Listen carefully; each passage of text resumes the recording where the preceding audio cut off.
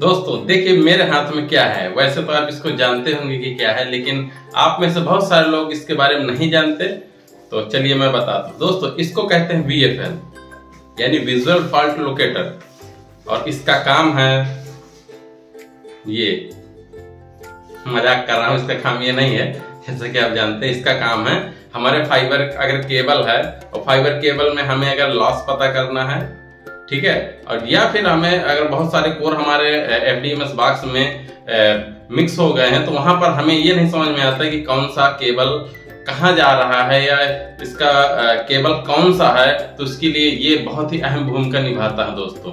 ये बहुत ही अहम भूमिका निभाता है क्योंकि इसमें हम लगाते हैं पैच कार्ड और पैच कार्ड के साथ वो जहाँ पर भी आपका अगर फॉल्ट है, ठीक है? वो, और दूसरी बात, अगर कहाँ तक कोर गया है, वो दोनों चीज़ इसके बारे में बहुत ही आसानी से आप इससे जान सकते हैं।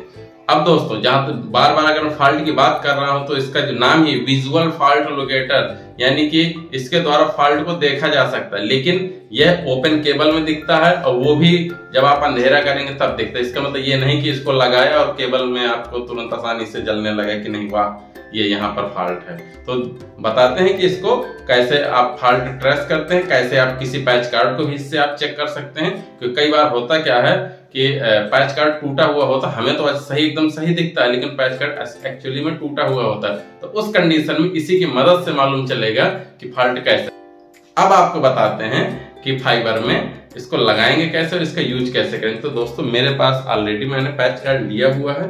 तो सबसे पहले आपको मैं सबसे पहले देखिए, मेरे मेरे पास ये एक पैच कार्ड है। इसका एंड ये अलग है, ठीक है? अब इसे मुझे चेक करना है कि ये पैच कार्ड सही है कि नहीं। तो इसको लगाना है मुझे कुछ यूँ। ठीक है दोस्तों, ये मैंने लगा दिया।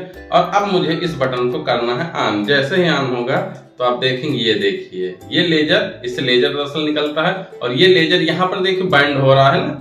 ठीक है, अगर ये बाइंड है तो यानी यहाँ पर जो ऑप्टिकल की लाइट है, यहाँ पर बेंड हो रही इसकी वजह से यहाँ पर लाश आ रहा है। अगर इसको सीधा कर देंगे तो देखिए लाश हट गया ऐसे ही अगर हम इसको देखिए, बैंड करते हैं, ये देखिए, जैसे बैंड करते हैं तो वहाँ पर लाश आ गया ठीक है तो इससे हम किसी पैच कार्ड को देख सकते हैं, जैसे ये पैच कार्ड है। जहाँ जहाँ अगर बेंड होगा, देखिए दोस्तों, ये पैच कार्ड आपको ऑटोमेटिक दो जगह दिख रहा होगा, ठीक है? एक आपको ये दिख रहा है, एक ये दिख रहा है। यानी यहाँ पर पैच कार्ड मुड़ा है, यहाँ पर इसका लाश है, एक यहाँ पर है, ठीक है? तो इसको ऐसे आप अपने लाश को सही कर सकते हैं पैच कार्ड को। दूसरी चीज़, यहाँ से देखिए लाइट आउट हो रही है। जो लाइट यहाँ से गई है, इससे देखिए लाइट आउट हो रही है। ठीक है? तो ऐसे करके हम चेक कर सकते हैं कि पैच कार्ड सही कि नहीं सही। यानी कि अगर इससे लाइट हमने दिया और इस यहाँ से आउट हो रही है तो इसका मतलब पैच कार्ड सही। अब इसको एक चीज़ आपको दिखा, दोस्तों, अगर मैं पैच कार्ड को तोड़ दू देखिएगा ठीक है? अगर इस पैच कार्ड को मैं तोड़ दू। देखिए, जैसे इसको ये अभी टूट नहीं रहा। ये अगर इसको तोड़ दिया जाए, ठीक है, अब इसके बाद, अब मैंने इसको सीधा कर दिया, ठीक है तो जब बंद है दोस्तों, देखो, बंद में तो कहीं नहीं समझ में आ रहा है कि हमारा पैच कार्ड सही कि नहीं सही, ठीक है, और इसको हम यूज़ कर लेंगे, इसका इस ज्वाइंट कर देंगे, लेकिन बाद के पता लगेगा कि पैच कार्ड काम ही नहीं कर रहा। तो इसको फॉल्ट पता करने के लिए सबसे आसान है कोई भी पुराना पैच कार्ड आप अगर उसे प्रयोग करें अपने ए, काम में तो सबसे पहले उसको आप लगाएँ और इसको टेस्ट कर लें। देखिए दोस्तों ये वहीं पर जहाँ पर हमने मोड़ा हुआ था यानी जहाँ पर हमने फॉल्ट बनाया था वहीं पर ये फॉल्ट आपको दिख रहा है। इसके आगे लाइट लाइट नहीं जा रही है देखो दोस्तों। अभी तक जा रही थी अब नहीं जा रही। यानी कि यहाँ से पैच कार्ड इधर का खराब है। यानी यहाँ पर ये मुड़ गया है टूट गया है ये फ़ील्ड में कुछ भी हो सकता है। तो इससे आपको पता चल जाता है कि ये पैच कार्ड हमें प्रयोग करना है कि नहीं करना। सेम इसी प्रकार, इससे आप पाँच पाँच, छह छह किलोमीटर दूर आप इसका काम ले सकते हैं, वो भी बताता हूँ कैसे। तो दोस्तों, ये समझ में आ गया होगा। एक चीज़ आपको भी और दिखाता हूँ अब हम लेते हैं एक सीधा पैच कार्ड अब दोस्तों, देखिए, ये हमारे पास दोनों पैच कार्ड है, यानी कि ये पूरा कंप्लीट पैच कार्ड है। अब इसको हम लगाते हैं। और देखिएगा, देखिए, ये कहीं भी रेड नहीं जल रहा, कहीं आपको दिख रहा नहीं है, ठीक है? और ये ये देखिए, यहाँ पर लाइट आउट हो रहा है, यानी ये पैच कट एकदम आपका सही है, ठीक है?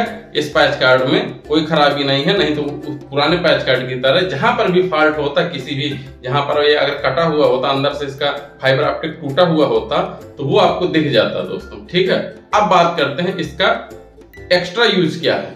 तो दोस्तों, बात करते हैं इसकी तो ये दरअसल एक ये टार्च होती है जिसमें आपका लेजर लगा हुआ होता है। लेजर, वही लेजर जो पहले बचपन में जब हम खेलते थे तो इतना छोटा सा लेजर ठेलिया में, मेला में मिला करता था, जिसको हम लगाकर दीवार में चित्र प्रोजेक्शन किया करते चिड़िया के, किसी भी तरीके के दिल ये सब वगैरह। तो उसी का इस्तेमाल यहाँ पर भी किया गया है। इसकी कीमत लगभग पंद्रह सौ रुपए है। अब बात करते हैं कि इसमें हम एक्स्ट्रा कम कैसे लेते हैं। दोस्तों, होता क्या है कि अगर आपने बीबीएनएल या जीपॉन का काम किया हो या टेलीकॉम का काम किया हो या कर रहे हो तो वो इसका इस्तेमाल भरपूर जानते होंगे। जैसे नॉर्मल क्या है कि आप जैसे कि अगर आप बीबीएनएल का काम नहीं किए यानी भारत नेट वाला तो आप इसके महत्व ज़्यादा नहीं समझ पाएँगे, लेकिन मैं बताता हूँ कि वहाँ पर इसकी ज़रूरत क्या है।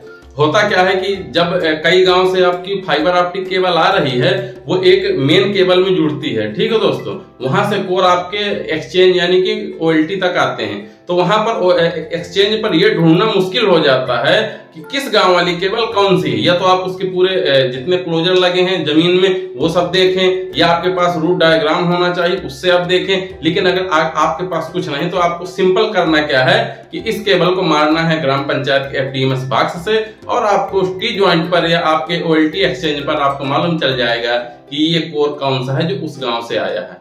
अगला कोर कौन सा जो अगले गाँव से आया? है क्योंकि उसमें ये तो मैंने सिंपल एक फाइबर के दिखाया जबकि जब जीपॉन में आप अगर काम किए हैं जीपॉन की जो केबल होती है फाइबर ऑप्टिक केबल जो टेलीकॉम की होती है उसमें 12, 24, 48, छियानवे और अब तो सैकड़ों की तादाद में फाइबर एक साथ चलते हैं तो वहाँ पर ये इसकी भूमिका बहुत ज़्यादा बढ़ जाती है, क्योंकि वो बहुत ही आसानी से, बहुत ही तेज़ी के साथ आपको ये बता सकता है कि कौन सा कोर कहाँ गया हुआ है। ठीक है दोस्तों?